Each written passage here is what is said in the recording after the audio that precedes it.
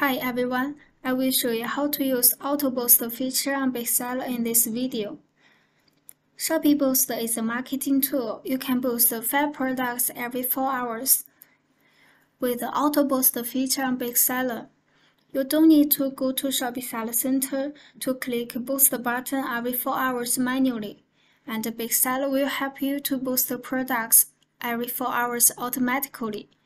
To find this feature, you can go to Products, Boost Management. Here you can see all of your Shopee stores connected to Bigseller. Here you can find a store and click the Edit button. Then click here to add products. Here you can select at most 30 products. Then click Confirm.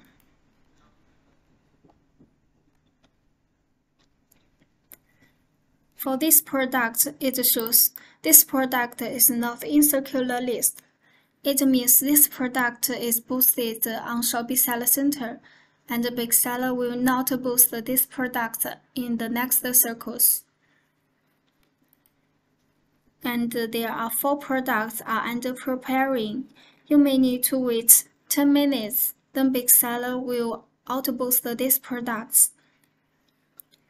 And for other products you selected will be under waiting list. If you want to boost one or several products all the time, you can click Pin Boosting button. Then big seller will boost these products all the time. Please note that if you pin five products, the products in the waiting list will not be boosted. After settings, then click Save button.